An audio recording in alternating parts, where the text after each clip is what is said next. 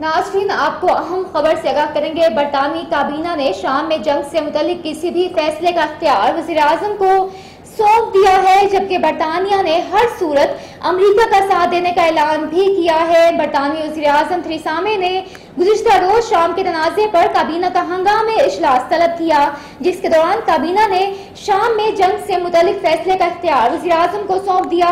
काबीना में शामिल वजीरों ने कहा, बशार असद हुकूमत मुशतबा केमिकल हमले की जिम्मेदार है और तमाम अरकान ने इतफाक किया। इस हवाले से शामी हुकूमत से लाजमन पूछ होनी चाहिए।